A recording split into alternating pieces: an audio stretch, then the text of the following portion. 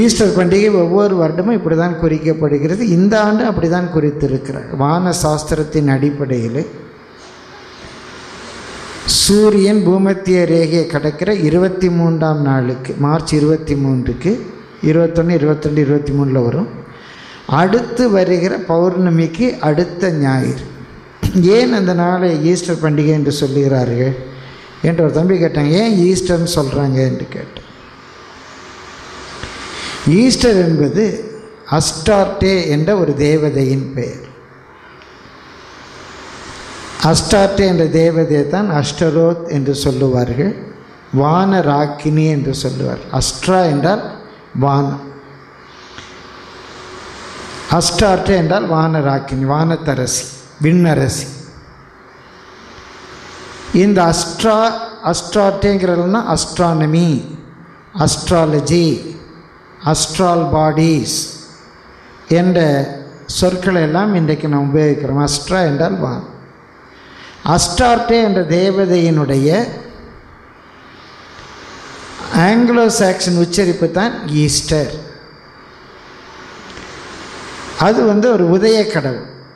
அதனால தான் சூரியன் உதிக்கிற திசைக்கு ஈஸ்ட் அவளுடைய பெயரின் அடிப்படையிலே சூரியன் உதிக்கிற திசைக்கு ஈஸ்ட் என்று வந்ததான் பிரியமானவர்களே இயேசு உயிர்த்தெழுந்ததற்கும் இந்த நாளுக்கும் எந்த நேரடியான தொடர்பும் கிடையாது. நம்முடைய வேதத்திலே அந்நிய தேவர்களுடைய பெயர்களை நாம் உச்சரிக்கக்கூடாது என்று பல வசனங்களிலே தெளிவாக சொல்லப்பட்டிருக்கிறது. இந்த ஈஸ்டர் என்ற தேவதை பல நாடுகளிலே பல பெயர்களிலே அழைக்கப்படுகிறார். எகிப்திலே அவளை இஸ்தார் என்று சொல்லுவார்கள். ஆராய்ச்சியாளர்கள் சொல்லுகிறார்கள் அதே தேவதை தான் நம்முடைய இந்தியாவிலே துர்கா இல்லாவிட்டால் காளி என்று அழைக்கப்படுகிறார். துர்கா என்ற வடமொழி சொல்லுக்கு ஆங்கிலத்திலே இன்வின்சிபிள். வெற்றி பெற முடியாதவன். இன்வின்சிபிள் என்று பொருள். அஸ்டார்டேக்கும் இன்வின்சிபிள் அஸ்டார்டே என்று தான் சொல்லுவார் அவளுடைய பெயரே இன்வின்சிபிள் அஸ்டார்டே அதான் துர்கா என்று சொல்லுகிறது. ஒரு வசனத்தை உங்களுக்காக வாசித்து காட்ட விரும்புகிறேன். யாத்திராகம் இருபத்தி மூன்று பதிமூன்று எக்ஸடஸ் டுவெண்ட்டி த்ரீ தேர்ட்டீன். வாசியுங்கள் ஆ. ஆ. அந்நிய தேவர்களின் பெயரை சொல்ல வேண்டாம். அது உங்கள் வாயிலிருந்து புறப்பட கேட்கப்படவும் கூடாது. மைக்கில் வாசிங்க நான் உங்களுக்கு சொன்னவைகள் யாவற்றிலும் சாவதானமாயிருங்கள் அந்நிய தேவர்களின் பெயரை சொல்ல வேண்டாம் அது உன் வாயிலிருந்து பிறக்க கேட்கப்படவும் வேண்டாம். அது உன் வாயிலிருந்து பிறக்க கேட்கப்படவும் வேண்டாம். அது உன் வாயிலிருந்து பிறக்க கேட்கப்படவும் வேண்டாம். தமிழில் சாவதானமாக இருங்கள் என்ற ஒரு சொல் உபயோகப்படுத்தப்பட்டிருக்கிறது. ஆங்கிலத்தில் சர்க்கம்ஸ்பெக்ட் என்ற ஒரு சொல் உபயோகப்படுத்தப்பட்டிருக்கிறார். சர்க்கம் என்றால் சுற்றி. தமிழில் சாவதானமாக இரு அப்படின்னு இருக்கு. மூல பாஷையிலே உன்னை சுற்றிலும் ஒரு வேலி அடைத்து காத்துக்கொள் என்று இருக்கிறது அதுதான் சாவதானமாக இருந்தால் உன்னை காத்துக்கொள். சுற்றிலும் வேலி அடைத்து காத்துக்கொள் என்று இருக்கிறது எதற்கு நம்மை வேலி அடைத்து காத்துக்கொள்ள வேண்டும்? தெரியாமல் அந்நியதர்களுடைய பெயரை சொல்லிவிடக்கூடாது.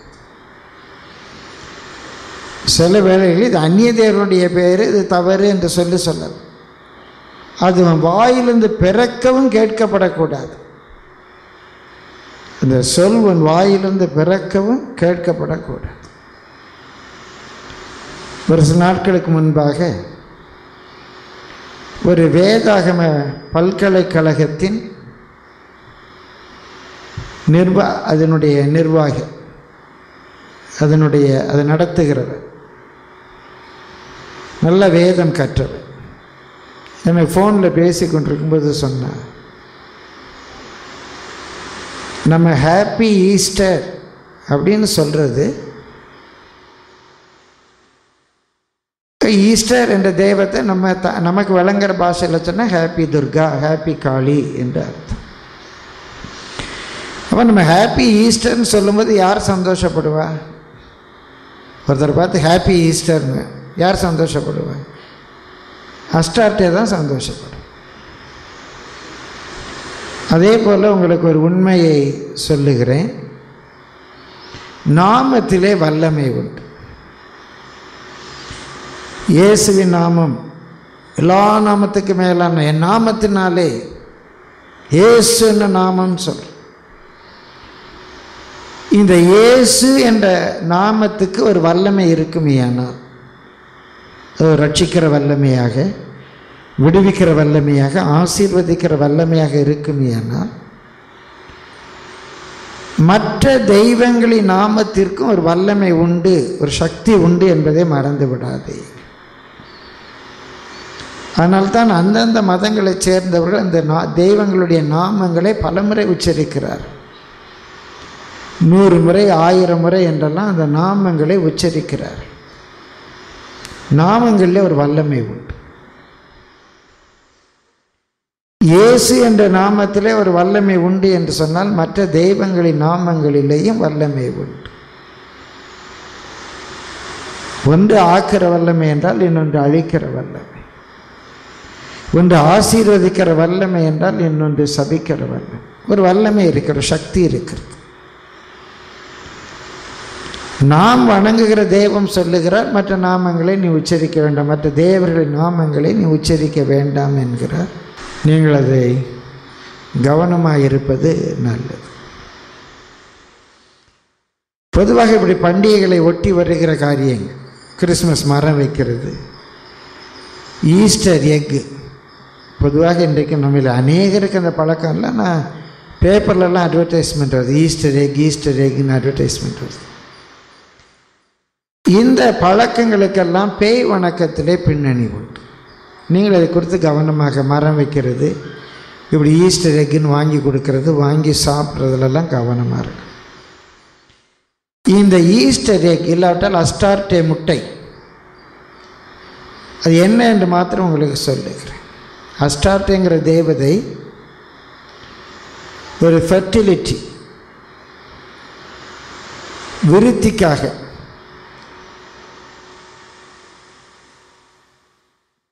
ஒரு பிள்ளை பாக்கியத்துக்காக உள்ள ஒரு தேவதை.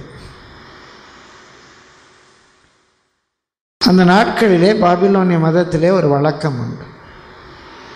இந்த ஈஸ்டர் பண்டிகை அன்றைக்கு கன்னி பெண்கள் ஈஸ்டர் தேவாலயத்துக்கு போய் அங்குள்ள பூசாரிகளோடு கூட சேர வேண்டும். அங்குள்ள பூசாரிகள் அந்த பெண்களை கருதரிக்க வைப்பார்.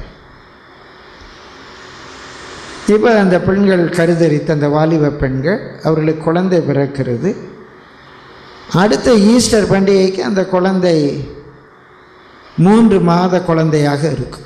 அடுத்த ஈஸ்டர் பண்டிகைக்கு அந்த குழந்தை மூன்று மாத குழந்தையாக இருக்கும். அந்த மூன்று மாத குழந்தையை இந்த கன்னி பெண்கள் அதாவது இந்த வாலிப பெண்கள் ஈஸ்டர் ஆலயத்துக்கு கொண்டு வர வேண்டும். எந்த பூசாரிகளாலே இவர்கள் கருதரித்தார்கள்? அந்த பூசாரிகளுக்கு பிறந்த பிள்ளைகள் தானே? அந்த மூன்று மாத குழந்தைகளை அந்த பூசாரிகளை அவர்களுக்கு பிறந்த பிள்ளைகள் அந்த பூசாரிகளை ஈஸ்டர் தேவதைக்கு பலி செலுத்த வேண்டும். அந்த பச்சை பிள்ளைகளுடைய பச்சை இரத்தத்திலே முட்டையை தோய்த்து இந்த பெண்கள் சாப்பிட வேண்டும். அந்த முட்டையை இந்த பெண்கள் அந்த இரத்தத்திலே துவைக்கப்பட்ட பூசாரியனுக்கும் இந்த பெண்களுக்கும் பிறந்த பிள்ளையினுடைய பச்சை இரத்தத்திலே துவைக்கப்பட்ட அந்த முட்டையை சாப்பிட்டால் இந்த பெண்களுக்கு குழந்தை பாக்கியம் செழிப்பாக இருக்கும். அவங்க குடும்ப வாழ்க்கை செழிப்பாக இருக்கும். இது ஒரு ஐதீகம் அவர்களுக்கு ஒரு நம்பிக்கை. இதில் தான் ஈஸ்டருக்கு அந்த முட்டை சாப்பிடுகிற பழக்கம் வந்தது. ஈஸ்டர் முட்டை என்று சொல்லி. அது இன்றைக்கு சிலர் ரொம்ப பக்தியாக அந்த முட்டையை வாங்கி வைத்து ஜெபிச்செல்லாம் சாப்பிட்றாங்க. முட்டை வடிவிலேயே முட்டாய்கள் செய்து வைக்கிறார்கள். இந்த பழக்கம் இன்றைக்கு நம்முடைய நாட்டில் இல்லாமல் போகவில்லை பொதுவாக சில திருமணங்களிலே மூன்று முடிச்சு போடுவார் மங்கள நாளிலே மூன்று முடிச்சு போடுவார் மூன்று முடிச்சு என்று சொல்லும். அந்த மூன்று முடிச்சினுடைய ஐதீகம் கூட முதல் முடிச்சு அந்த பெண்ணை இறைவனுக்கு தாரை வார்ப்பது. ரெண்டாவது முடிச்சு அந்த பெண்ணை அந்த பூசாரிக்கு கொடுப்பது. மூன்றாவது முடிச்சு தான் அந்த கணவனுக்கு மனம் முடிப்பது அந்த ஒரு தாற்பயம் இன்றைக்குள்ள திருமணங்களிலேயும் இருக்கிறது. இப்படி ஒரு பூசாரியோடு ஒரு பெண் சேருவதனாலே என்ன பாக்கியம் உண்டு என்பதை பச்சையாக தெளிவாக பத்திரிகையிலே நித்தியானந்தம் என்ற சாமியாரும் சொன்னார். உங்களிலே ஒரு சிலர் வாசித்திருப்பீர். இப்படி ஒரு பூசாரியோடு ஒரு பெண் படுக்கிறதுனால அந்த பெண்ணுக்கு என்ன நன்மை உண்டு என்று நித்தியானந்த பச்சையாக சொன்னார். இதெல்லாம் இன்றைக்கு உள்ள பழக்கம். இதான் அந்த ஈஸ்டர் எக் அது விட்ட சம்பந்தப்பட்ட காரியங்கள். எல்லாமே இப்படிப்பட்ட பின்னணியிலிருந்து வந்தவைகள். இவைகளை குறித்து ஜாக்கிரதையாக இருங்கள். இன்றைக்கு காலையில் நான் வந்த உடனே ஒரு ஐயா சொன்னேன் ஒருத்தன் பிரதர் சொன்னார். ஹாப்பி ஈஸ்டர் என்று. தெரியாமல் சொன்னேன் அப்புறம் நான் அவருக்கு சொன்னேன். அந்த பெயர் நம்ம உச்சரிக்கக்கூடாது இப்போ நமக்கு தெரியாமல் கூட இல்லை அதில் என்ன இருக்குது என்று சொல்லி வேறு தேவதைகள் பேரை நம்ம சொல்ல மாட்டோம். ஹாப்பி அப்படின்னு சொல்லி. அதனால் இதை குறித்து நீங்கள் சற்று எச்சரிக்கையாக இருக்கும்படியாக அன்பாய் கேட்டுக்கொள்ளுகிறோம். உங்களுக்கு தெரிந்தவர்களுக்கும் இதை அன்பாய் சொல்லிக் கொடுங்க. ஒரு பெரிய அறிஞர் எழுதுகிறார் பொய் என்று சொல்லுகிறது. அநேகர் ஒரு பொய்யை சொல்லுகிறபடியினாலே பொய் உண்மையாகிவிடாது. அநேகர் ஒரு பொய்யை சொல்லுகிறபடியினாலே பொய் உண்மையாகிவிடாது. ஒரு சின்சியாரிட்டி ஒரு உண்மையினாலோ ஒரு இக்னரன்ஸ் ஒரு அறியாமையினாலோ ஒரு உண்மையினால் ஒரு அறியாமையினால் ஒரு பொய்யை நாம் ஏற்றுக்கொள்ளுகிறபடியினாலே நாம் ஏற்றுக்கொள்ளுகிற அந்த காரியம் உண்மையாக மாறிவிட அறியாமையினாலே உண்மையினாலே பொய்யை ஏற்றுக்கொண்டாலும் பொய் பொய் தான் அநேகர் ஒரு பொய்யை சொன்னாலும் பொய் பொய் தான் உண்மை உண்மை தான் ஈஸ்டர் என்பது அஸ்டார்டியுடைய பெயர் என்பது உண்மை. ஈஸ்டர் என்பது வானசாஸ்திரத்தை பார்த்து குறிக்கப்படுகிறது என்பது உண்மை.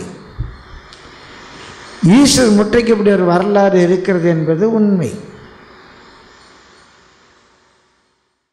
அந்நிய தேவருடைய பெயரை நம்முடைய வாயினாலே உச்சரிக்கக்கூடாது என்பது வேதத்தில் உள்ள சத்தியம்.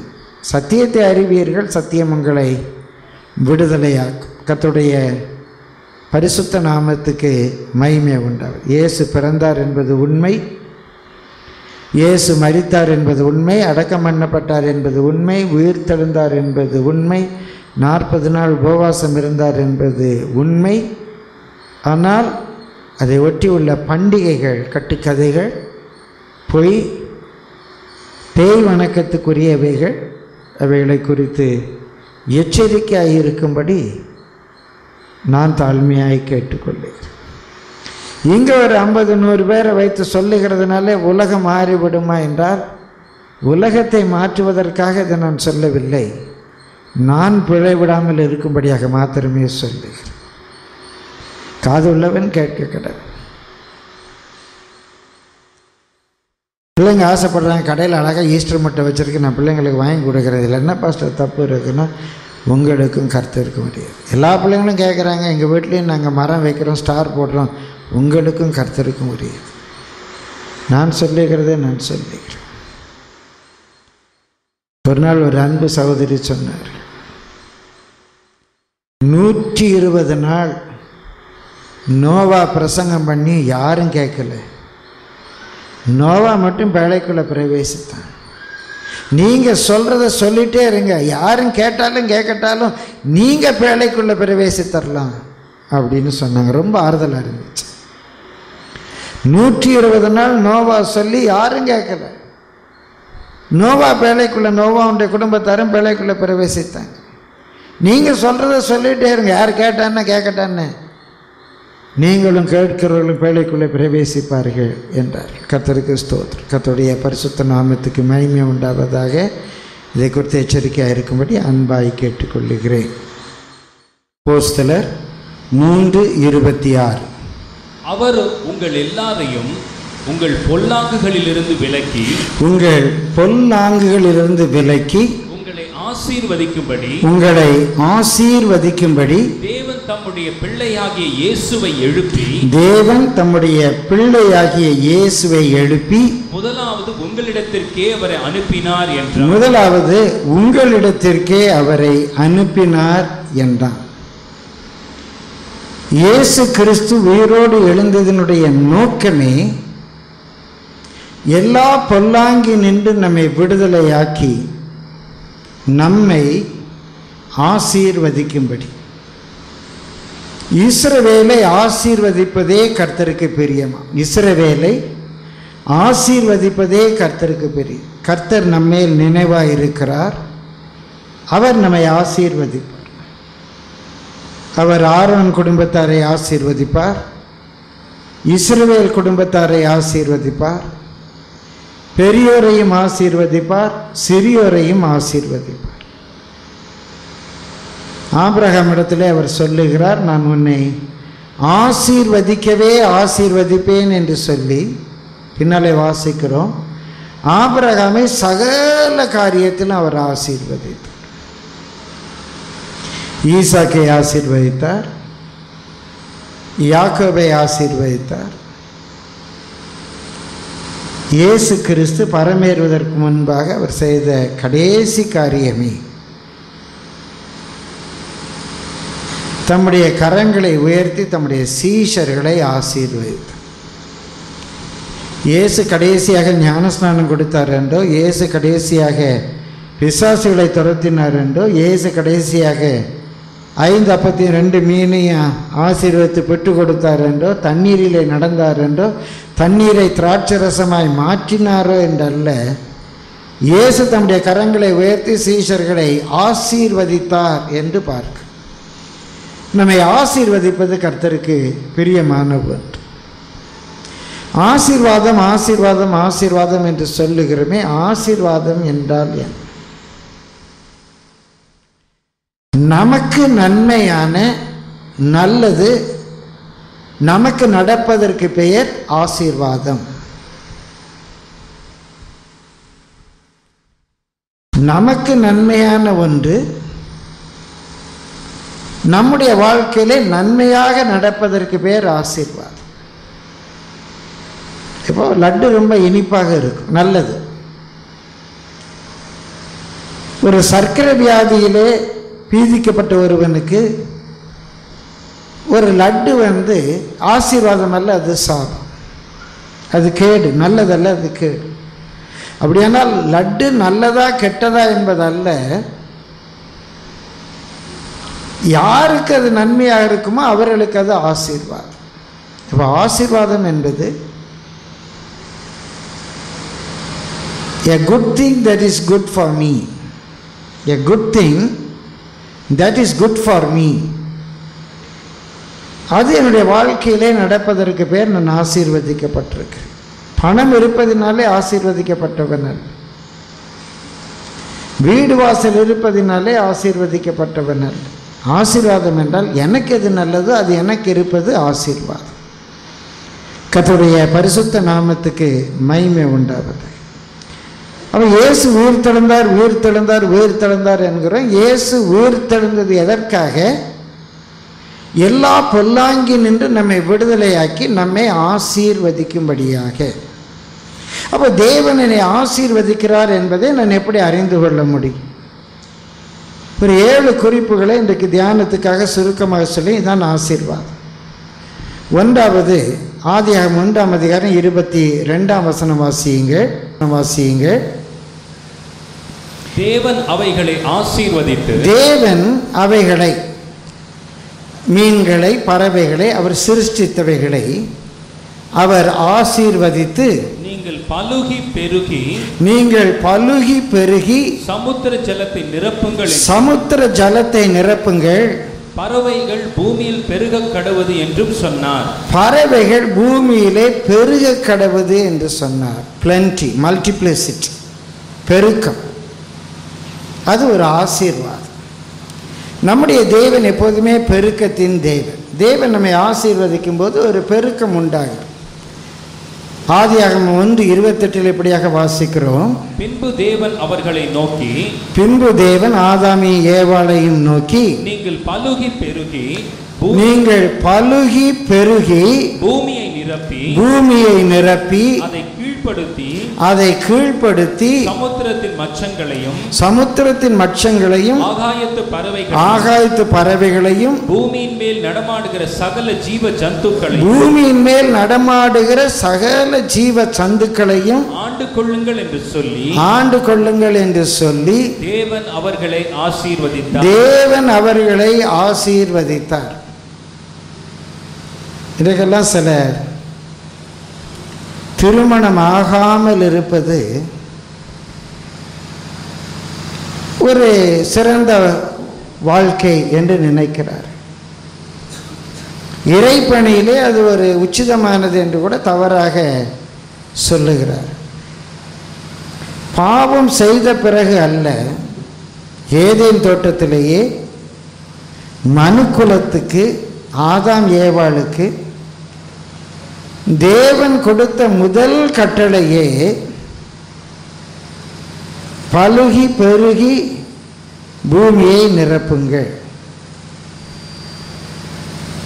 இப்போ ஆதாம் ஏவாளும் ஒன்று சேராமல் அது தேவ தீர்மானமாக இல்லாமல் இருக்குமானால் அது பரிசுத்தத்தில் குறைவுள்ளதாக இருக்குமேயானால் அது வெட்கப்படக்கூடிய ஒன்றாக இருக்குமேயானால் தேவன் எப்படி அவர்களை பார்த்து இதை சொல்லி இருப்பார் அவர்கள் கொடுக்கப்பட்ட முதல் கட்டளையே பழுகி பெருகி பூமியை நிரப்புங்க தேவனுடைய பார்வையிலே பெருக்கம் என்பது ஆசீர்வாதம். நம்முடைய வாழ்க்கையிலே தேவன் நம்மை ஆசீர்வதிக்கும் போது பெருக்கத்தை கட்டளையிடுகிறார். ஆகும் ஒன்பதாம் அதிகாரம் ஒன்றாம் வசனத்தில் பின்னும் நான் வாசிக்கிறோம் வாசியுங்கள். ஆதியாகமும் ஒன்பது ஒன்று. பின்பு தேவன் நோவாவையும். அவன் குமாரரையும் ஆசீர்வதித்தார். ஆசீர்வாதத்தை என்ன சொல்றாரு பாருங்க? நீங்கள் பலுகி பெருகி நீங்கள் பலுகி பெருகி பூமியை நிரப்புங்கள். பூமியை நிரப்பும். பி ஃப்ரூட்ஃபுல் கனி தருகிறவர்களாக இருங்க நல்லா பெருகுங்கள் ஆபரகம் இடத்துல சொல்லுகிறார் நான் உன்னை ஆசீர்வதித்து உன் சந்ததியை வானத்தின் நட்சத்திரங்களைப் போல பூமியின் மணல் அத்தனையாய் பெருக பண்ணுவேன். ஆதியாகமும் இருபத்தி ரெண்டு பதினேழு. பெருக்கத்தை கட்டளையிடுகிறது. நம்முடைய வாழ்க்கையிலேயும் கர்த்தரால் ஆசீர்வதிக்கப்பட்டால் நமக்கு ஒரு பெருக்கம் வேண்டும். சந்தோஷம் பெருக வேண்டும். சமாதானம் பெருக வேண்டும். அன்பு பெருக வேண்டும். தெய்வீக சுபாவம் பெருக வேண்டும். கர்த்தருக்கென்று ஜீவிக்கிற வாழ்க்கை பெருக வேண்டும். நம்முடைய தொழில் பெருக வேண்டும். நம்முடைய எல்லை பெருக வேண்டும். நம்முடைய வாழ்க்கையிலே நேற்று இருந்தது போல அல்ல இன்று இருப்பது போல் அல்ல ஒரு பெருக்கம் வேண்டும். நம்மை அவர் ஆசீர்வதிக்கும் போது நம்முடைய வாழ்க்கையிலே இந்த இன்க்ரீஸ் இந்த குரோத் வருகிறது. கருத்துடைய பரிசுத்த நாமத்துக்கு மகிமை உண்டாவது தேவன் நம்முடைய வாழ்க்கையிலே பெருக்கத்தை விரும்புகிற தேவன். நம்முடைய வாழ்க்கையில் எப்போதும் ஒரு பெருக்கம் இருக்கும். சிலருடைய வாழ்க்கையெல்லாம் கல்யாணம் ஆனோன்னு ரொம்ப சந்தோஷமாக இருப்பாங்க. ஒரு மாதம் ரெண்டு மாதம் மூணு மாதம் சொல்லுங்க புது தொடப்பம் நல்லா இருக்குது அப்படின்னு. போக போக தான் தெரியும்.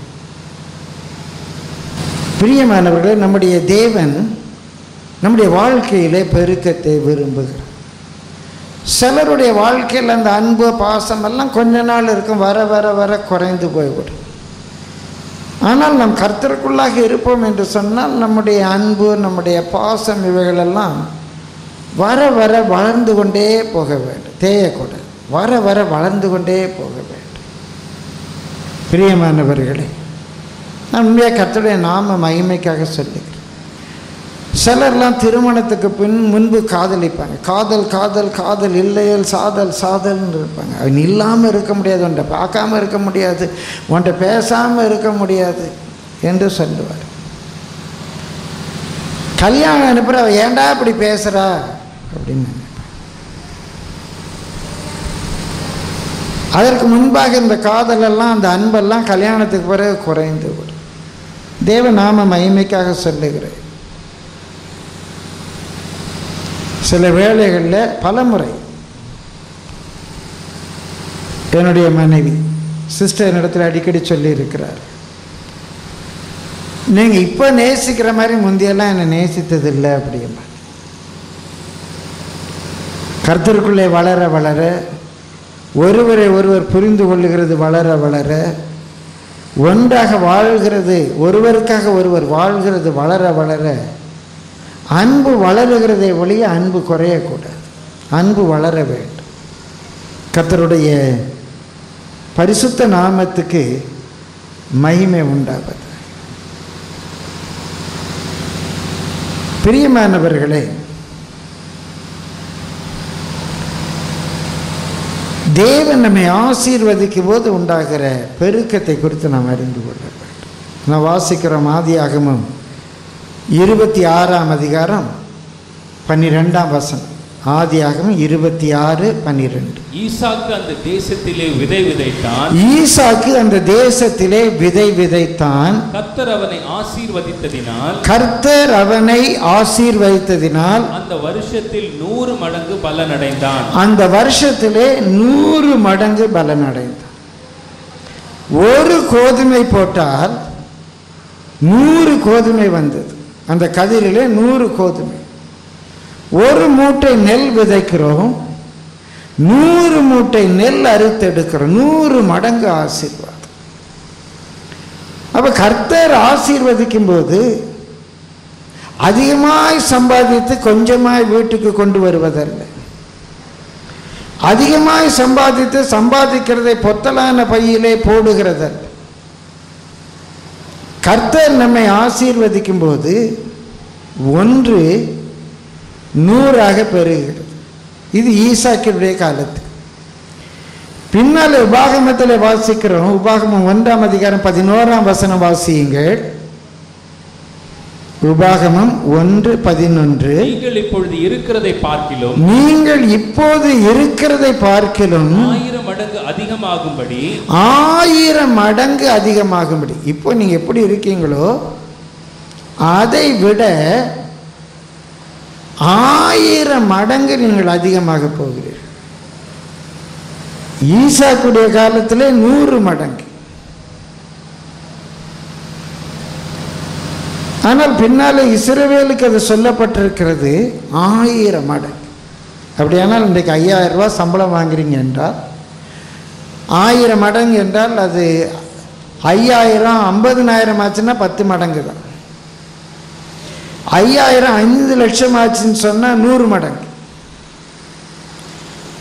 ஐயாயிரம் ரூபாய் ஐம்பது லட்சமாக மாறினால் ஆயிரம் மடங்கு கர்த்தவங்களை ஆசீர்வதித்திருக்கிறார்.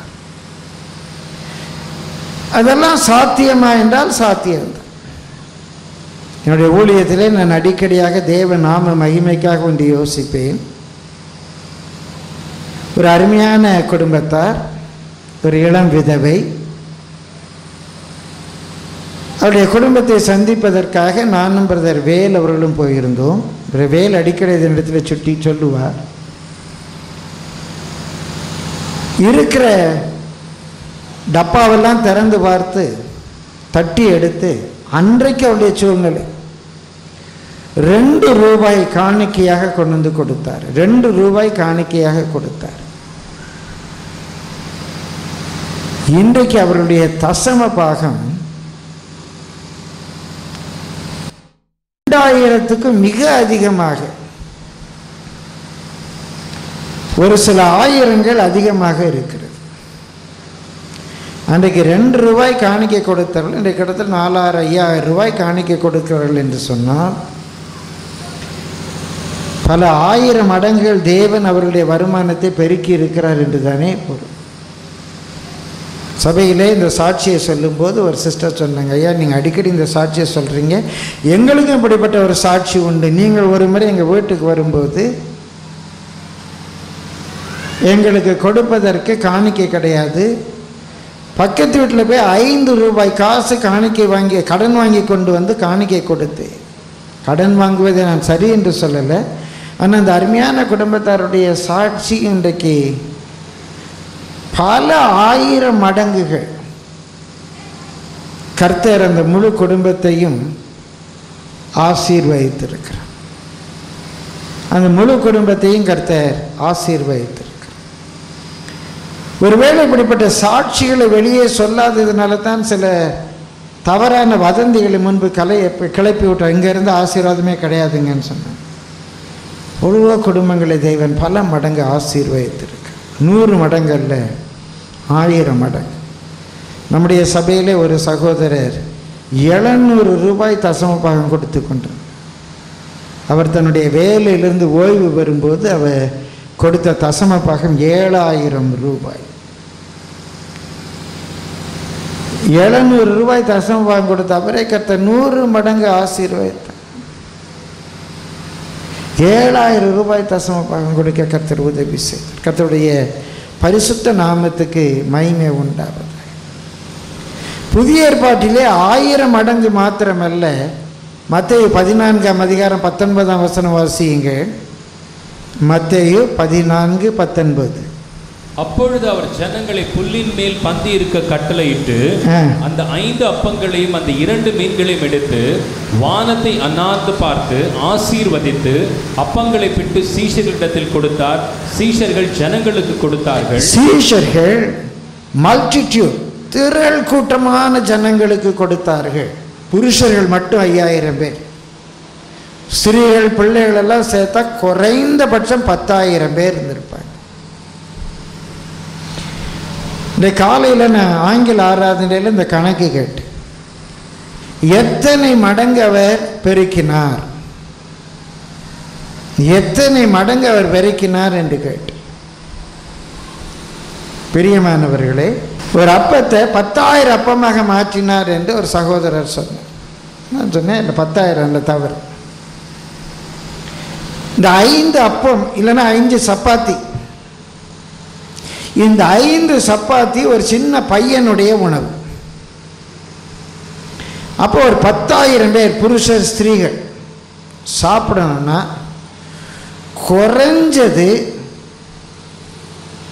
ஐம்பதனாயிரம் அப்பம் தேவைப்பட்டிருக்கு. குறைந்தது.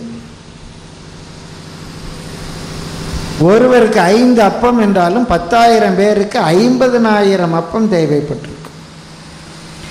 அவர்கள் திருப்தியாய் சாப்பிட்டார்கள். புருஷர்கள் ஸ்திரீகள் நல்லா மீன் பிடிக்கிறவங்க கடினமாக உழைக்கிறவர்கள் மூன்று நாள் பசியாக இருந்தவர்கள். பத்தாயிரம் பேர் சாப்பிட்டார்கள் என்றால் ஐம்பதாயிரம் அப்பம் அல்ல கிட்டத்தட்ட ஒரு லட்சம் அப்பமாக அது மாறி இருக்க வேண்டும்.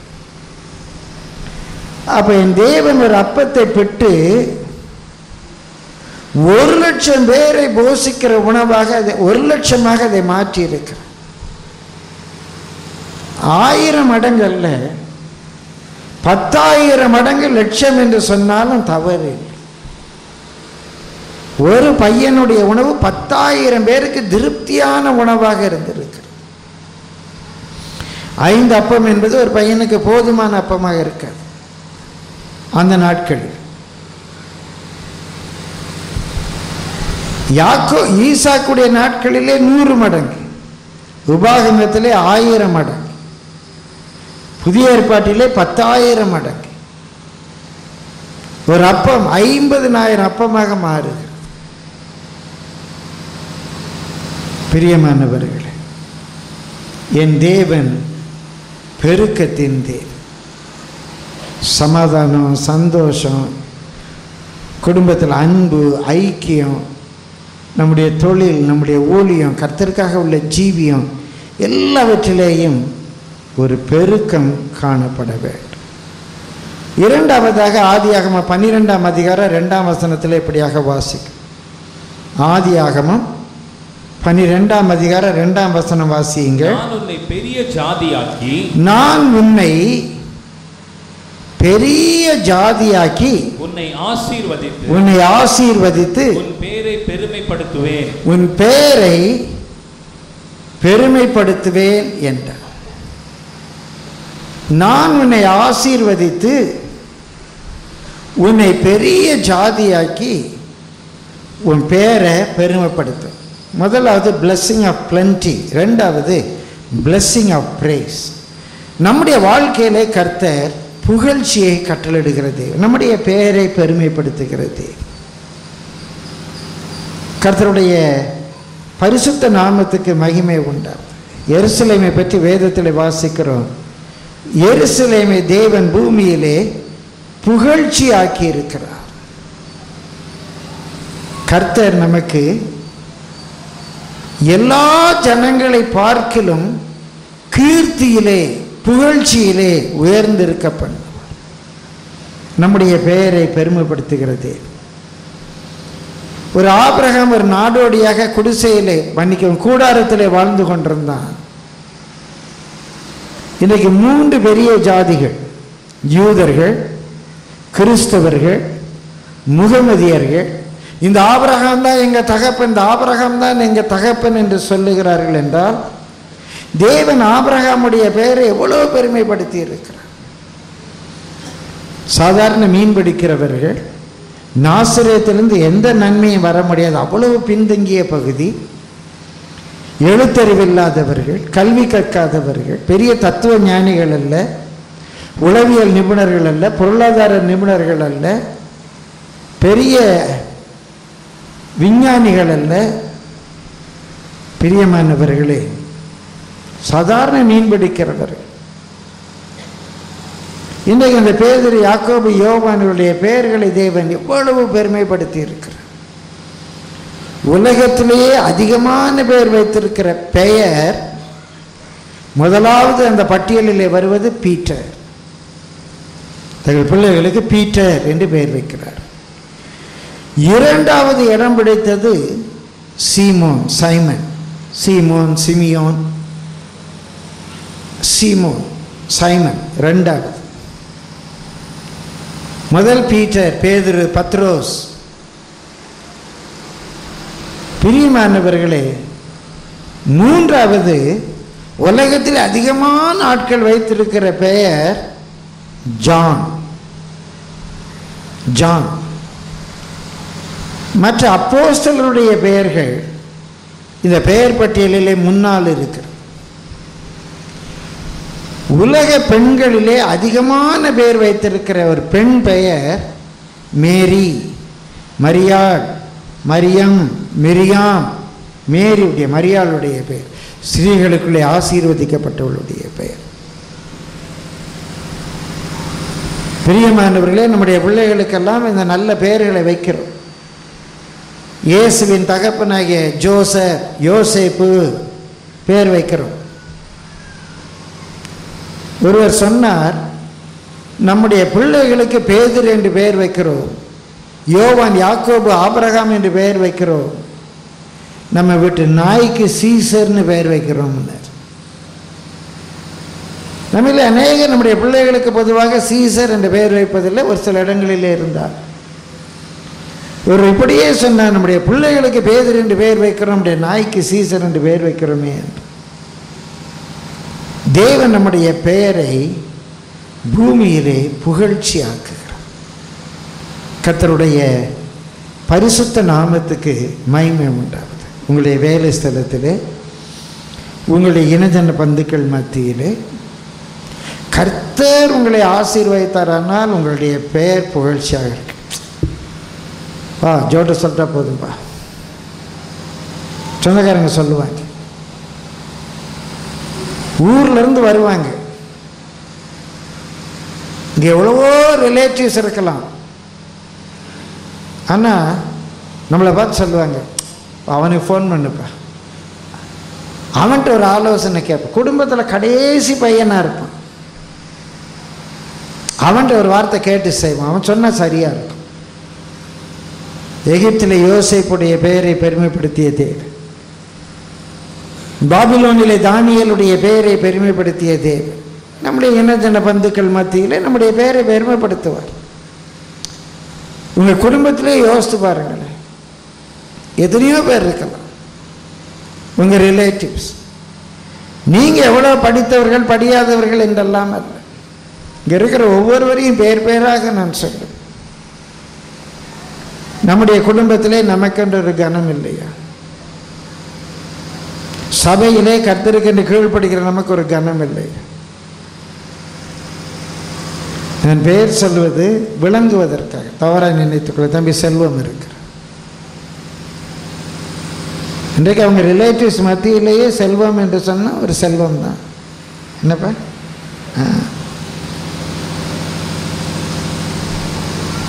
எதனால் இந்த கணம் வந்தது?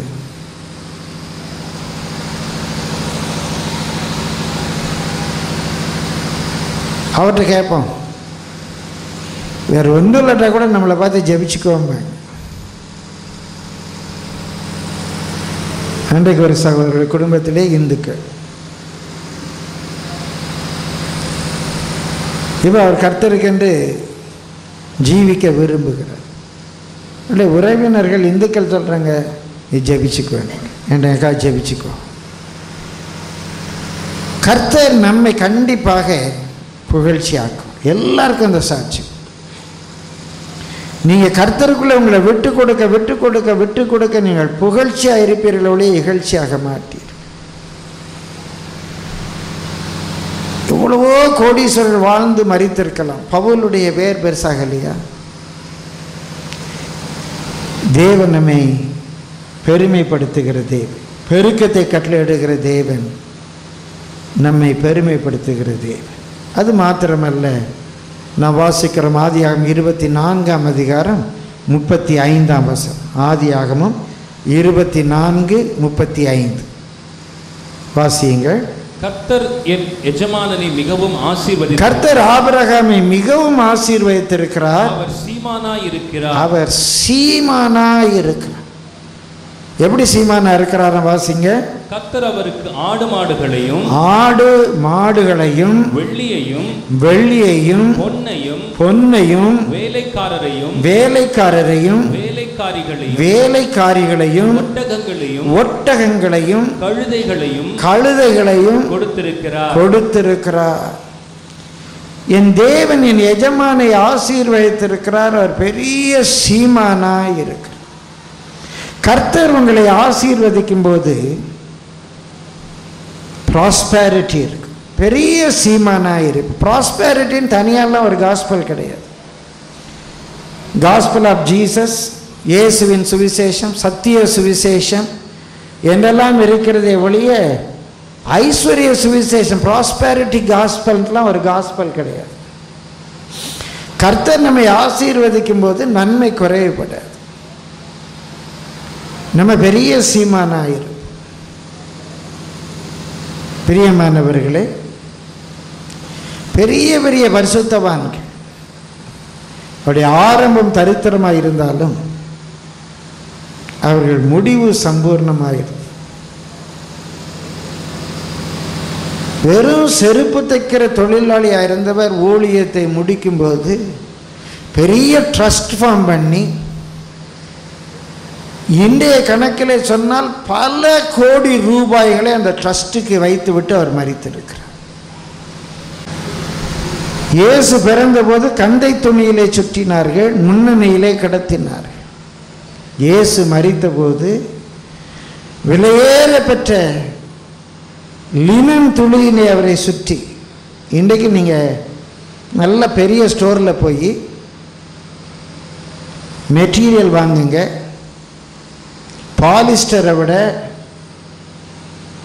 டெர்லின் டெரிகாட்டை விட காட்டனை விட அந்த கடைகளிலே விலை உயர்ந்த துணி என்று சொன்னால் லினன் என்று சொல்லுவார்.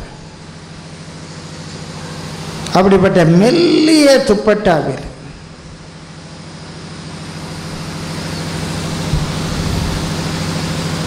மெல்லிய துப்பட்டா. எருசலேமிலிருந்து ஒரு சகோதரி ஒரு டிஷர்ட் வாங்கிட்டு வந்தாங்க. அவ்வளோ மெல்லிசா இருக்கு. தொட்டா கிழிஞ்சிருமான்னு பயமாக இருக்குது. மெல்லிய துப்பட்டா. ஃபைன் லினன் பிறந்தப்போ கந்தை துணி. இயேசு சிலுவையில் அறையும் போது அவர் போட்டிருந்த உள்ளாடையின் மேலே நாலு ரோம போர்கள் எனக்கு வேணும் உனக்கு வேணும் எனக்கு வேணும் உனக்கு வேணும்னு சொல்லி சீட்டு போட்டு எடுத்தார் அதை கிழிக்க மனதில்லாமல் அவர் சாதாரண ஒரு பனியனாக இருந்தார் ஒரு உள்ளாடையாக இருந்தார் ஒரு குற்றவாளியுடைய உள்ளாடை சீப்போ அப்படின்னு தூக்கி போட்டிருப்பாங்க. நான்கு ரோம போர் வீரர்கள் கடைசியில் அதை பிரிக்க முடியாமல் சீட்டு போட்டு எடுத்தார்கள் என்றால் அவர் மறிக்கும்போது தரித்திரனாக மறிக்கவில்லை. இங்கே நாம் பார்க்கிறோம் தேவன் ஆபிரகமை ஆசீர்வதித்த போது அவனுக்கு ஆடுகளை கொடுத்தார் மாடுகளை கொடுத்தார் வெள்ளியை கொடுத்தார் பொன்னை கொடுத்தார் வேலைக்காரர்களை கொடுத்தார் வேலைக்காரிகளை கொடுத்தார் ஒட்டகங்களை கொடுத்தார் கழுதைகளை கொடுத்தார். நம்மை கர்த்தர் ஆசீர்வதிக்கும் போது கர்த்தர் நம்ம பெரிய சீமானாக்கும் பிரியமானவர் நம்மளை அநேகரை கருத்தபடி ஆசீர்வதித்திருக்கிறார். ஆயிரம் மடங்கு லட்சம் மடங்கு என்று ஆசீர்வதித்திருக்கிறார். நான் மொபைலில் உள்ள சாட்சிகளை சொல்லிக்கொண்டே போகலாம். பிரியமானவர்களை ஒருவர் சொன்னார் முன்பு இங்கே இருந்தால் நம்மெல்லாம் ஆசீர்வதிக்கப்பட மாட்டோம். நமக்கு ஐஸ்வர்யம் பெருகாது. அந்த சபைக்கு போனால் தான் ஐஸ்வர்யம் பெருகும்னு சொன்னாரா? தப்பாக கணக்கு போட்டு விட்டேன் எல்லா சபைகளிலேயும் ஆசீர்வாதம் பெற்றவர்கள் உண்டு ஆசீர்வாதம் பெறாதவர்கள் உண்டு. இந்த சபையிலே ஒரு குடும்பத்தை நான் சந்திக்க போகும்போது அவர்களுக்கு மேலே கூரை கிடையாது. அவங்க மகன் சாட்சி சொல்லும்போது அநேக நானும் கண் கலங்கி அழுது விட்டு கூரை கிடையாது. வானம்தான் கூரை நட்சத்திரங்கள் தான் விளக்கு. பிரியமானவர்களே ஏழை விதவை தாய் சின்ன குழந்தைகள். கர்த்தர் அந்த குடும்பத்தை அபரிவிதமாக ஆசீர்வதிக்கலையா? இன்றைக்கு கிட்டத்தட்ட அந்த குடும்பத்தினுடைய நிகர வருமானம் ஒரு லட்சம் ரூபாய் இருக்கும். ஒரு லட்சம் ரூபாய் இருக்கும். என் தேவன் நம்மை ஆசீர்வதிக்கிற தேவன்.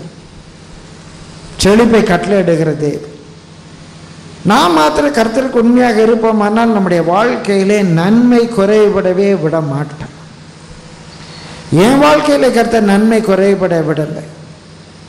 நன்மையினாலே திருப்தி ஆக்குகிறார். அவர் தம்முடைய சொந்த குமாரன் என்றும் பாராமல் வெள்ளிக்கிழமை கத்த சபைக்கு தீர்க்க தரிசனமாய் பேசினார். அவரை நமக்காக தந்தருளினவர் அவரோடு கூட இந்த கழுத குதிரை ஒட்டகம் தராமல் போயிடுவார் வானம் அவருடையது பூமி அவருடையது. பூமி அது நிறைவும் அவருடையது. அவரே எனக்கு வந்துட்டார்னா அப்போ எல்லாம் எனக்கு வந்த மாதிரி தானே? அவரே எனக்குள்ள வந்த பிறகு இந்த குதிரை வரலையா இந்த கழுதை வரலையா இந்த வெள்ளி வரலையா பொண்ணு வரலையா? வெள்ளி அவருடையது பொண்ணு அவருடையது. அவர் என்னுடையது அவருக்கு சொந்தமான வெள்ளி என்னுடையது பொண்ணு என்னுடையது. பிரியமானவர்களே இரும்பு அவருடையது தான் வெண்கலமும் அவருடையது தான் அதுக்காக இரும்பில் காப்பு செஞ்சு போடணுன்னா வேற எங்கேயாவது போக வேண்டியதாக போயிடும். இரும்பு காப்பு போட்டு விடுவாங்க. ஆசீர்வாதம் என்பது வேறு அணிகலன்கள் அலங்காரங்கள் என்பது வேறு. அது ஒரு பக்கம் இருக்கட்டும். கர்த்தர் நம்மை ஆசீர்வதிக்கும் போது கர்த்தர் நம்மை பெருக பண்ணுகிறார் ஒரு வாலிபன் வேலைக்கு சேர்ந்தவருக்கு நாலாயிரம் சம்பளம் என்று நினைக்கிறேன். முதல் சம்பளத்தை அப்படியே கொண்டு வந்து கொடுத்தார். இன்றைக்கு கிட்டத்தட்ட சில லட்சங்களை சம்பளமாக வாங்குகிறார். நம்முடைய சபையில் இதை நான் உங்களுக்கு சொல்வதற்கு காரணம் நாம் தரித்திரராக இருப்பதினாலே தேவனுக்கு மகிமை கிடையாது எனக்கு ஒரு நன்மையும் குறைபடுற பலமுறை நான் சொல்லியிருக்கிறேன். தேவைக்கு அதிகமாக சேர்த்து வைக்கிற செல்வம் எனக்கு தேவையில்லை. நெருக்கங்கள் பலமுறை வந்திருக்கிறது. ஜீரோ என்பதை ஒரு சில முறை பார்த்திருக்கிறேன். ஜீரோவானாலும் ஹீரோ தான் கவலையே கிடையாது. என் தேவ நன்மை குறைவிட விட்டது. அதனால்தான் நீதிமொழிகள் பத்து இருபத்தி ரெண்டரை வாசிக்கிறோம் கர்த்தருடைய ஆசீர்வாதமே ஐஸ்வர்யத்தை தரும். அவர் அதோடு கூட வேதனையை கூட்ட மாட்டார் கர்த்தருடைய ஆசீர்வாதமே ஐஸ்வர்யத்தை தரும். அவர் அதோடு கூட வேதனையை கூட்ட மாட்டான் கர்த்தருடைய பரிசுத்த நாமத்துக்கு மகிமை உண்டாவது பிரியமானவர்கள் கர்த்தர் உங்களை ஆசீர்வதிக்கும் போது அந்த ஆசீர்வாதத்தில் உள்ள ஒன்று ப்ராஸ்பேரிட்டி நான்காவதாக முதலாவது பெருக்கம் என்று பார்த்தோம். அவ பெயரை பெருமைப்படுத்துவார் என்று பார்த்தோம். நம்மை பெரிய சீமான் ஆக்குவார் என்று பார்த்தோம். இங்கே வாசிக்கிறோம் ஆதி முப்பத்தி ரெண்டாம் அதிகாரம் இருபத்தி ஆறாம் வசனம் வாசியுங்க ஆதியாகவும் முப்பத்தி ரெண்டு இருபத்தி ஆறு அவர் அவர் நான் போகட்டும் பொழுது விடுகிறது என்றார்.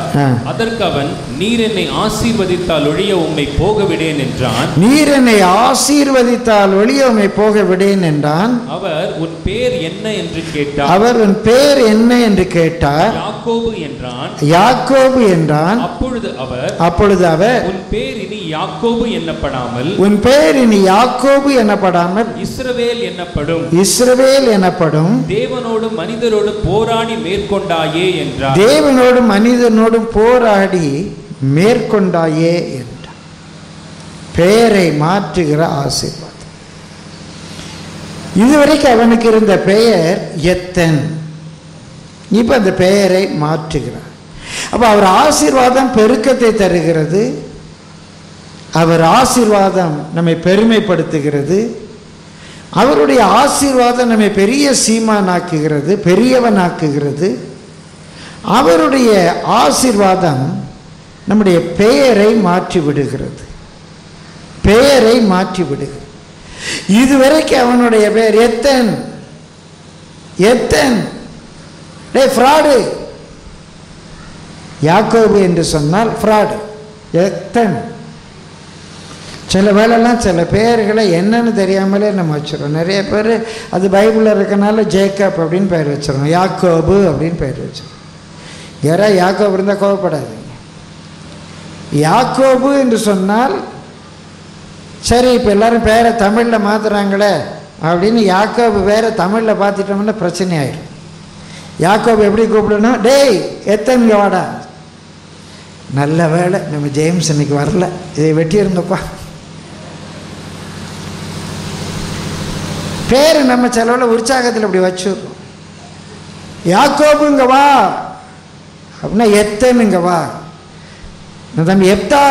அப்படின்னா துக்கமே. அப்பா வச்சிருக்கான் பாருங்க பிடிக்கிறான் பாரு. ஒருவேளை இவர் தமிழ் பற்று அதிகமாகி எப்தா பேரை மாற்றிட்டாருன்னா எப்தா பேரை தேவன் மாற்றிட்டார் எப்தா ஜபிக்கிறேன் எல்லையை பெரிதாக்கும். தீங்கு என்னை துக்கப்படுத்த விடாது. எங்கள் அம்மா தெரியாமல் பெயர் வச்சுட்டாங்க. எப்தா பிரியமானவர்களே கத்தருடைய பரிசுத்த நாமத்துக்கு மயிமை உண்டாம் கர்த்தர் நம்ம பேரை மாற்றுகிறது. ஆக நீங்கள் உடனே போய் எத்த பேரை மாற்றிருன்னு நான் சொல்லலை. பிரியமானவர்களே கர்த்தர் நம்மை ஆசீர்வதிக்கும் போது நம்ம எப்படி மற்றவர்களால் அறியப்பட்டோமோ அதில் ஒரு பெரிய மாற்றத்தை கொடு பாசிட்டிவாக ஒரு மாற்றத்தை கொடுக்குற வேதத்தில் சொல்லப்பட்டிருக்கு நீங்கள் அவங்க மேலே அவப்பெயர்களை வைத்தீர்கள். என் ஊழியக்காரரும் என் வாய் சொல்லும் பெயரினாலே அறியப்படுவார். கர்த்தர் நம்ம எப்படி காண்கிறாரோ அப்படி நம்ம அந்த உலகத்தில் அறியப்படும். கர்த்தர் ஆச்சரியமாய் நம்முடைய பெயர்களை மாற்றுகிறார் பிரியமானவர்களே கைவிடப்பட்டவள் விதவை. ஒரு அவச்சம். இந்த பெயரை கர்த்தர் எப்படி மாற்றுகிறாராம்? பியூலா எப்சிபா என்று மாற்றுவார். பியூலா என்றால் வாழ்க்கைப்பட்டவள் எப்சிபா என்றால் கர்த்தருடைய பிரியம் உண்மையில் இருக்கும். கர்த்தர் நம்ம பெயரை மாற்றுறார் கர்த்தருடைய பரிசுத்த நாமத்துக்கு மகிமை உண்டாது இந்த உலகத்தில் அவன் கடங்காரன்டா தருத்திரண்டா சரியான ஃப்ராடுடா ஏமாளிடா. அவன் ஒரு கோமாளிடா. சோம்பேறிடா. சாப்பாடுறாமன்டா சரியான தண்ணி கேஸுடா உதவாக்கரடா யூஸ்லெஸ்டா பிள்ளைங்களுக்கு எவ்வளோ பேர் பெற்றோர் சொல்கிறாங்க உதவாக்கர் ஒரு பிள்ளை உன்னை பெற்றதுக்கு ஒரு உரலை பெற்றிருக்கலாண்டா ஒரு அம்மியை பெற்றிருக்கலாண்டா ஒன்றுக்கும் பிரயோஜனம் இல்லாத வேண்டாம் சரியான பெருமைக்காரிப்பா. சும்மா வெத்து வேட்டு. சவடால் பேர் வழி எவ்வளவு பேர். இந்த கருத்தர் உங்களை பார்த்து சொல்கிறேன் உன் பேரை பெருமைப்படுத்துறேன் it's a blessing a privilege கர்த்தருடைய வாய் சொல்லும் நாமத்தினால நீ அழைக்கப்படுவாய். கர்த்தர் இவனை எப்படி காண்கிறார் அப்படி மாற்றுவார் நம்ம எல்லாருடைய வாழ்க்கையிலையும் அதை செய் பிரியமானவர்களே கர்த்தருடைய பரிசுத்த நாமத்துக்கு மயிமை உண்டாது சின்னவன் ஆகிரமும் சிறியவன் பலத்த ஜாதியுமாக மாறும். உங்கள் சொந்தக்காரங்க உற்றார் உறவினர்கள் உங்களுக்கு இதுவரைக்கும் என்ன பேர் வச்சுருந்தாலும் சரி தரித்திரம்னாலும் சரி பீடன்னாலும் சரி சபிக்கப்பட்டவன் சொன்னாலும் சரி ஆண்டவர் உங்களை ஆசீர்வதிக்கும்போது அப்படியே அது தலைகீழாக மாறிடும். அப்பா அவனை மாதிரி ஒரு உண்மை உள்ள ஆளை பார்க்க முடியாதப்பா. எவ்வளோ குடும்பத்துக்கே அவன்தான்ப்பா பிரயோஜனமானது. அவன் பாக்கியவன்ப்பா. எத்தனுடைய பெயரை? பிரின்ஸ் இளவரசன் என்று கர்த்தர் மாற்றினார். கர்த்தர் உன்னை ஆசீர்வதிக்கும் போது உன்னுடைய பெயரை மாற்றுகிறார். ஐந்தாவதாக குறிப்புகளை சொல்லி கடந்து போகிறார். தேவன் அவரை இயேசுவை எழுப்பி நம்மை ஆசீர்வதிக்கும்படியாக அவரை அனுப்பினார். அப்போ இயேசு உயிர் தெழுந்ததே நம்மை ஆசீர்வதிப்பதற்காக பெருக்கத்தை கொடுப்பதற்காக பெயரை பெருமைப்படுத்துவதற்காக அவர் வாய் சொல்லும் நாமத்தினாலே நம்ம அழைக்கப்படும்படியாக நம்முடைய பிழைய சாப பெயரை மாற்றுவதற்கு இதெல்லாம் அவருடைய ஆசீர்வாதம். ஐந்தாவதாக வாசிக்கிற யாத்திராகம் இருபத்தி மூன்று இருபத்தி ஐந்து. யாத்திராகமும் இருபத்தி மூன்று இருபத்தி ஐந்து. உங்கள் தேவனாகிய கர்த்தரையே சேவிக்க கடவீர்கள். உங்கள் தேவனாகிய கர்த்தரையே சேவிக்க கடவீர்கள். அவர் உன் அப்பத்தையும் அவர் உன் அப்பத்தையும் தண்ணீரையும் ஆசீர்வதிப்பார். உன் தண்ணீரையும் ஆசீர்வதிப்பார். வியாதியை உன்னிலிருந்து விலக்குவே அது மூல பாஷையில் அப்பத்தையும் தண்ணீரையும் ஆசீர்வதித்து வியாதியை உன்னை விட்டு விலக்குவேன் என்று சொல்லுகிறார். இந்த வியாதி என்பதற்கு வலி வேதனை சரீரத்தில் உள்ள வியாதியானாலும் சரி மனதில் உள்ள வியாதியானாலும் சரி இந்த வேதனையை நம்மை விட்டு அவர் விலக்குவார். இந்த வேதனையை நம்மை விட்டு அவர் விலக்குவார் என்று சொல்லப்பட்டிருக்கு. கர்த்தருடைய பரிசுத்த நாமத்துக்கு மைமை உண்டாகும் blessing of pain free pain free life வேதனை இல்லாத ஒரு வாழ்க்கை. கர்த்தருடைய நானும் நம்முடைய வாழ்க்கையிலே மகிமைப்படுவது கர்த்தர் உங்களை ஆசீர்வதிக்கும் போது எல்லாவித வேதனைகளுக்கும் அவர் நம்மை விலக்கி காக்கிற தேவனாயிருக்கிறார். அவர் நம்மை ஆசீர்வதிக்கும் போது எல்லாவித வேதனைகளுக்கும் அவர் நம்மை விலக்கி காக்கிற தேவனாய் இருக்கிறார் சாதாரண அப்பத்தையும் தண்ணி அவர் ஆசீர்வதிச்சா போதும். பாலும் பழமும் பாதாம் கீரும் ஆப்பிளும் வேணும்னு. இல்லை இன்றைக்கு நம்ம சரீரத்துக்கு நல்லதெல்லாம் கீரை கோதுமை கம்பு கேழ்வரகுங்கிறோம்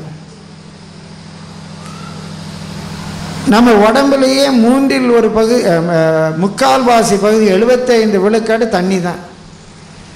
இந்த தண்ணி ஒழுங்காக இருந்துச்சுன்னா நம்ம வியாதியில் இருக்கிற பாதி நம்ம உடம்புல இருக்கிற பாதி வியாதி போயிடும். என்னிடத்துல சிலர் ஏதாவது என்ன வியாதியை சொன்னாலும் நான் அடிக்கடியாக சொல்கிற ஒரே வார்த்தை நிறையா தண்ணி குடிங்க. இன்றைக்கி மருத்துவர்கள்ட்ட போனால் சொல்கிறாங்க நிறையா தண்ணி குடிங்க. தேவன் இந்த தண்ணீரை நம்முடைய வாழ்க்கையில் ஆசீர்வதித்தாலே நம்முடைய வாழ்க்கை ஆசீர்வாதமாக மாறிவிடும். கர்த்தருடைய பரிசுத்த நாமத்துக்கு மகிமை உண்டாகும் கர்த்தர் நம்மை ஆசீர்வதிக்கும் போது நம்முடைய வலி வேதனைகளை இருதயத்தில் உள்ள வேதனையும் சரீரத்தில் உள்ள வேதனை இவைகளை நீக்கி கத்த நம்மை விடுவிக்கிறார் ஆறாவதாக பார்க்கிறோம் வாசியுங்கள். எண்ணாம் அதிகாரம் இருபத்தி நான்காம் வசனம். கர்த்தர் உன்னை ஆசீர்வதித்து உன்னை காக்க கடவுள். கர்த்தர் உன்னை ஆசீர்வதித்து உன்னை உன்னை காக்க கடவுள். கர்த்தர் உன்னை ஆசீர்வதித்து உன்னை காக்க கடவுள் கத்தருடைய பரிசுத்த நாமத்துக்கு மைமை உண்டாவது அப்போ அவர் நம்மை ஆசீர்வதிக்கிறதுலே it's a blessing of protection நமக்கு பாதுகாப்பு இருக்கிறது. Blessing of plenty blessing of privilege blessing of prosperity blessing of pain free life இங்கே பார்க்கிறோம் பிளெஸ்ஸிங் ஆஃப் ப்ரொடெக்ஷன் அவர் நம்மை ஆசீர்வதித்து காத்துக்கொள்கிறார். ஆவிக்குரிய வாழ்க்கையிலையும் காத்துக்கொள்ளுகிறார். நம்முடைய போக்கிலும் வரத்திலும் கூட நம்மை காத்துக்கொள்ளுகிறார். உபாகமம் இருபத்தி எட்டாம் அதிகாரம் ஆறாம் வசனத்தில் இப்படியாக வாசிக்கிறோம். உபாகமம் இருபத்தி எட்டு ஆறு வாசியுங்கள். நீ வருகையிலும் ஆசீர்வதிக்கப்பட்டிருப்பாய். நீ வருகையிலும் ஆசீர்வதிக்கப்பட்டிருப்பாய். போகையிலும் ஆசீர்வதிக்கப்பட்டிருப்பாய். நீ போகையிலும் ஆசீர்வதிக்கப்பட்டிருப்பாய். நம்ம போக்கியும் வரத்து இது முதற்கொண்டு எந்தெந்தைக்கும் கர்த்தர் காப்பா நம்முடைய பிள்ளைகளை காப்பா அவர் ஆசீர்வதிக்கும் போது நமக்கு ஒரு பாதுகாப்பு ஒரு நம்முடைய பெயரை பாதுகாப்பார் நம்முடைய ஊழியத்தை பாதுகாப்பார் நம்முடைய குடும்பத்தை பாதுகாப்பார் நம்முடைய போக்கையும் வரத்தையும் பாதுகாப்பார். அவர் நம்மை பாதுகாக்கிற தேவனாக இருக்கிறார். கர்த்தருடைய பரிசுத்த நாமத்துக்கு மகிமை உண்டாவது பிரியமானவர்களை கர்த்தர் நல்லவர். அவருடைய கிருபை என்றைக்கு நம்ம மேல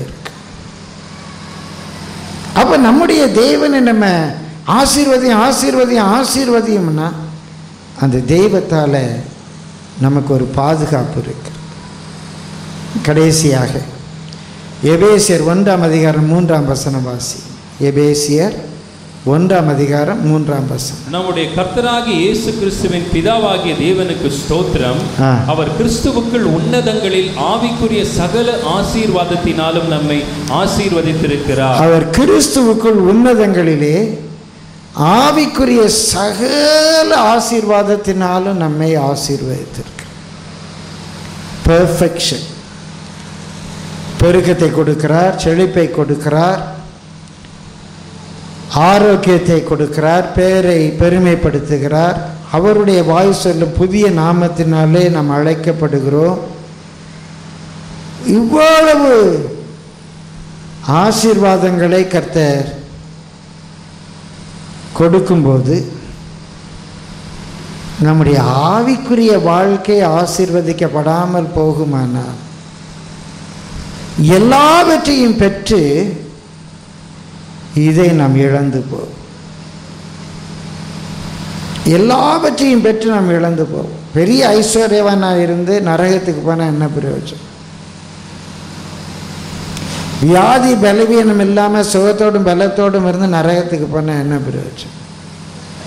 இந்த பூமியில் நல்ல பெரிய பேரும் பந்தாவமாக இருந்துட்டு நரகத்துக்கு போனால் என்ன பிரயோஜனம்? எல்லாம் இருந்து ஆவிக்குரிய ஆசீர்வாதம் இல்லாவிட்டால் நாம் ஒன்றுமில்லை தேவன் நம்மை பேரை பெருமைப்படுத்துகிறார். தேவன் நம்மை ஆசீர்வதிக்கிறார். தேவன் நம்மை ஐஸ்வர்யவான் ஆக்குகிறார் தேவன் ஆவிக்குரிய சகல ஆசீர்வாதத்தினாலும் நம்மை ஆசீர்வது நல்ல சமாதானம் நல்ல சந்தோஷம் பரிசுத்தம் பகையில்லாத ஒரு ஜீவியம் நல்ல ஆவிக்குரிய சுபாவங்கள் பரலோக சிந்தை பரலோகத்தை குறித்த வெளிப்பாடு இப்படிப்பட்ட நன்மைகளாலே அவர் நம்மை கண்டிப்பாக திருப்தி ஆக்குகிறார் கர்த்தருடைய பரிசுத்த நாமத்துக்கு மகிமை உண்டாவது பிரியமானவர் யாக்கோபு ஜெபிச்சது போல ஜெபி. ஆண்டவரே என்னை ஆசீர்வதி. என்னை ஆசீர்வதித்தால் ஒழிய நான் விட மாட்டேன் என்னை ஆசீர்வதித்தால் ஒழிய நான் விட மாட்டேன் கர்த்தருடைய ஆசீர்வாதத்தில் பெருக்கம் இருக்கிறது. கர்த்தருடைய ஆசீர்வாதத்தில் ஐஸ்வர்யம் இருக்கிறது. கர்த்தருடைய ஆசீர்வாதத்தில் ஆரோக்கியம் இருக்கிறது. கர்த்தருடைய ஆசீர்வாதத்தில் பரலோக பரிபூர்ணம் இருக்கிறது. கர்த்தருடைய ஆசீர்வாதம் நம்முடைய பெயரை பெருமைப்படுத்துகிறது. கர்த்தருடைய ஆசீர்வாதம் கர்த்தருடைய வாயு சொல்ல புதிய நாமத்தினாலே நாம் அழைக்கப்படுவதற்கு உதவியாக இருக்கிறது நம்ம எல்லாரும் எழும்பி கற்றுட்டு ஆண்டவரே என்னை ஆசீர்வதி. என்னை ஆசீர்வதித்தால் ஒழிய நாம் போக விட மாட்டேன். என்னை ஆசீர்வதி ஆண்டவர். எல்லாரும் கத்துடைய முகத்தை நோக்கி பார்ப்போம்.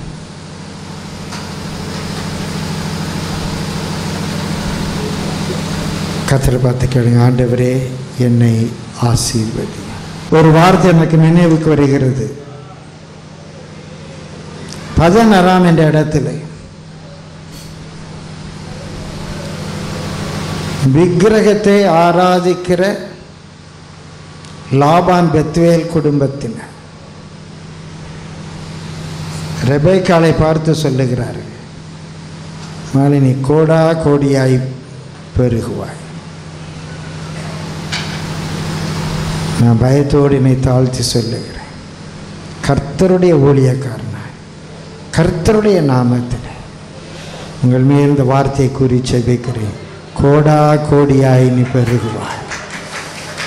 கோடா கோடியாய் நீ பெருகுவாய்.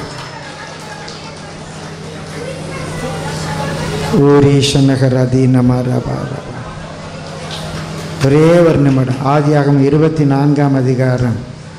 கடைசி பகுதியில் இருக்கும். எடுத்துள்ள யாராவது ஒருவர் சத்தமாய் வாசியுங்க. ஆதியாகம் இருபத்தி நான்காம் அதிகாரம். ரெபேக்காள் தாய் அங்கே ஈசா கிடத்துக்கு அனுப்பும்போது அவளை வாழ்த்துறாங்க. ம். ஆ. எங்கள் சகோதரியே நீ கோடா கோடியாய் பெருகுவாய். எத்தனாவது வசனம்? அறுபதாவது வசனம்.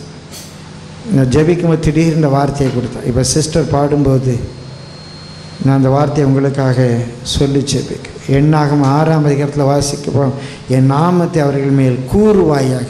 அப்பொழுது நான் அவர்களை ஆசீர்வதிப்பேன். இந்த வேத வசனத்தை உங்கள் மேல் கூறி செபிக்க நீ கோடா கோடி. என் சகோதரனே என் சகோதரியே நாங்கள் ரெண்டு பேரும் ஊழியக்காரர்களாக சேர்ந்து சொல்கிறாங்க என்ன சொல்லியிருக்கு? எங்கள் சகோதரியே. பதாமராமில் இருந்தவங்க அல்ல உங்களுடைய ஊழியர்களாக நாங்கள் சொல்லுகிறோம். எங்கள் சகோதரரே திரும்ப வாசிங்க இந்த வசனத்தை. ரெபேக்காலை வாழ்த்தி எங்கள் சகோதரியே இங்கே இருக்க ஒவ்வொருத்தரையும் சொல்கிறோம் எங்கள் சகோதரனே எங்கள் சகோதரியே வாசிங்க. நீ கோடா கோடியாய் பெருகுவாயாக. சிஸ்டர் பாடும்போது அந்த வாழ்த்துதலை நாங்கள் இந்த நல்ல மனமகிழ்ச்சியினால் உங்கள் மேலே கூறி சொல்கிறோம் இந்த ஆசீர்வாதத்துக்கு பாத்திரமாக இருக்கணுமே நிச்சயமாக இந்த ஆசீர்வாதம் வந்து தங்கு இந்த ஆசீர்வாதத்துக்கு பாத்திரமாக இருக்கணுமே நிச்சயமாக இந்த ஆசீர்வாதம் வந்து தங்க எங்கள் சகோதரியே எங்கள் சகோதரனே கோடா கோடியாய் நீ பெருகுவாயாக. கோடா கோடியாய் நீ பெருகுவாயாக. ஹலோ தொடர்ந்து வாசிங்க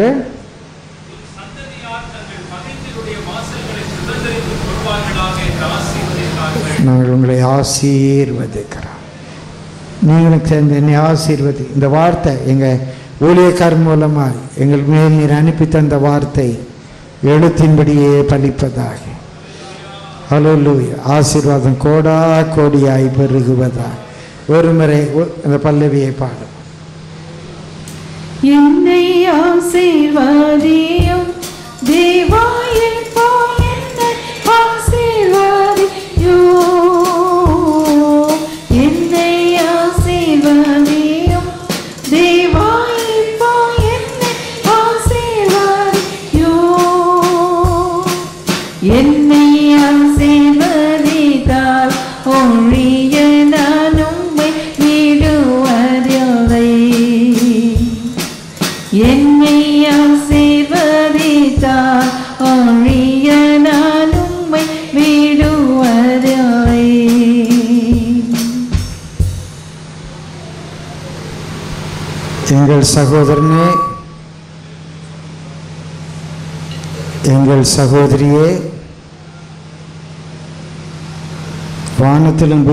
சகல அதிகாரமுள்ள நசர்னாகிய இயேசு கிறிஸ்துவின் நாமத்தில்.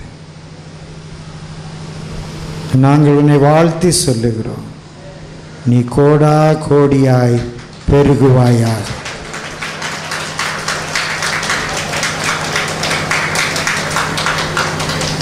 எல்லாரும் மூன்று முறை சத்தமாக ஆமேன்னு சொல்லுங்க.